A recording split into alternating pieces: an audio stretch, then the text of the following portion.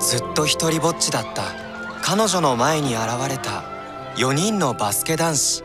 あなたたちみたいね。チャラい人たち苦手なの。チャラくはないな。みんなマジでバスケやってるから。あんな真剣な顔初めて見た。美月一緒にやろう。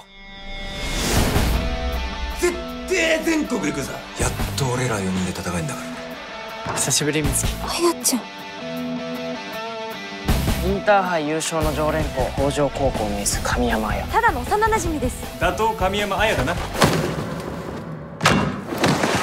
けたんだ。ぞ悔しくねえのか悔しくねえわけねえだろ。全部俺のせいだよ。やめろよ。こんな言い合いするためにバスケやってんじゃねえだろ。待ってて。絶対強くなるから。私も大事なもの見つけたいケは朝倉君にとって大事なものなんだね。バスケだけじゃなくてそこで出会ったあいつらもかな。仲間っていいよね。美月も仲間だよ。また明日ね。俺も美月に救われてたから。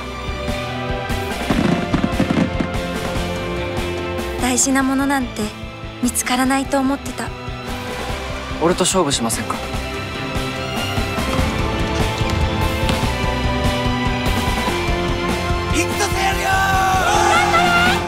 春松僕ら。